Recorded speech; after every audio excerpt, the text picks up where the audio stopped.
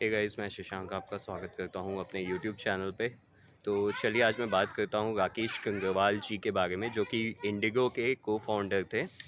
तो मैं बताना चाहता हूँ कि उन्होंने अभी अभी रिसेंटली इंडिगो से मतलब रिसेंटली क्या उन्होंने बहुत पहले ही इंडिगो के बोर्ड से रिज़ाइन मार दिया है। अब वो अपने स्टॉक्स को डाइल्यूट कर रहे हैं।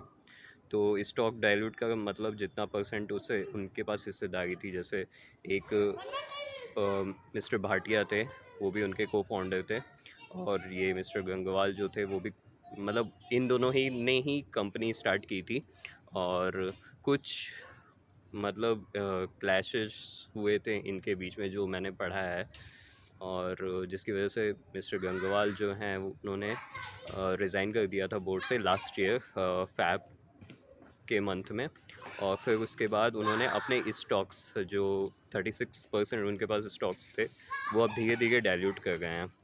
तो हमको ये समझना चाहिए कि देखिए को फाउंडर्स के बीच में भी कॉन्फ्लिक्ट्स बहुत होते हैं और फाइट इन फाइट होती है और अल्टीमेटली कोई ना कोई को फाउंडर लग, उनको लगता है कि अगर मेरी बात नहीं सुनी जा रही है तो हम क्यों इस कंपनी में गए हैं? तो वो पहले बोर्ड से रिज़ाइन मारते हैं, फिर धीरे धीरे वो अपने स्टॉक्स को, नंबर ऑफ़ स्टॉक्स को डेल्यूट करते हैं।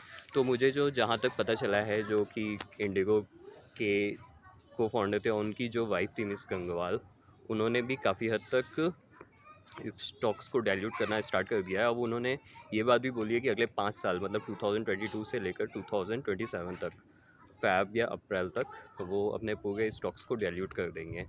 बट उनकी जो वैल्यू है स्टॉक्स की वो थर्टी सिक्स हंड्रेड करोड़ तक की है और वो फ़िलहाल यूएस में स्टे करते हैं।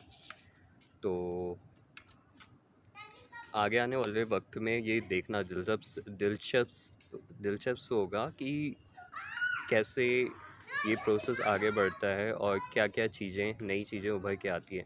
आपको पता ही होगा इंडिगो का सबसे बड़ा मार्केट शेयर इंडिया में है। उनका लगभग fifty to sixty percent market share है। शायद उससे भी ज़्यादा हो बट उनका हाफ़ मार्केट शेयर उन्हीं के पास है।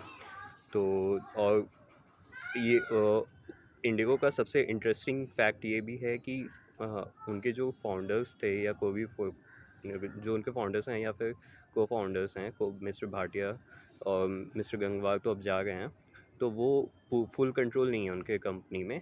उन्होंने प्रोफेशनली लोगों को चलाने के लिए दिया हुआ है, जो कि एक, खुद में एक बहुत प्रैक्टिकल करने वाली चीज़ होती है और मतलब एक एक्सपेरिमेंट होता है कि देखते हैं सक्सेसफुल होता है या नहीं। आपको इंडिगो के बारे में ज़रूर पढ़ना चाहिए और हो सके तो इसके बारे में आप भी मेरे कमेंट बॉक्स पे लिख सकते हैं और हम इसके बारे में चर्चा कर सकते हैं। तो उम्मीद करता हूँ आपको मेरी बातें समझ में आई होंगी। अगर समझ में आई हैं तो लाइक लाइक करना हो कर दीजिएगा और शेयर ज़रूर कीजिएगा दोस्तों के बीच में। चलिए बाय बाय